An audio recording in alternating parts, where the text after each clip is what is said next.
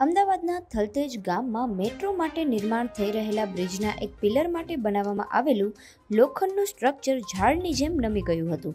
એક પ્રત્યક્ષદર્શીના જણાવ્યા અનુસાર સળિયાના તમામ સ્ટ્રક્ચર સેફટી સાથે બંધાયેલા છે, પરંતુ નમી ગયેલા લોખંડના સ્ટ્રક્ચરને તારથી બાંધી એક છેડો પથ્થર સાથે બાંધી દેવાયો હતો.